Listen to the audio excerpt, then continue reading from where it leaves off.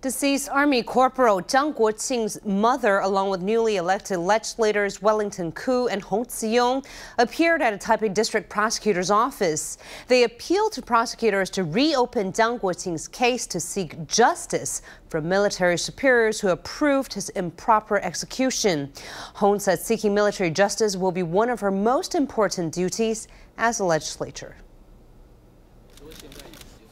Chiang Kuo-ching's mother, Wang Tsai-lian, visited the Taipei District Court with new Power Party legislator-elect Hung Tzu-yung to call for a retrial in her son's death. Judicial reform and transitional justice will be the focus of our work.